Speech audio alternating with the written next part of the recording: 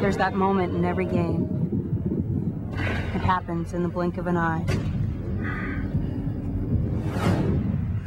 When push comes to shove, it's be strong or be gone. A test of will.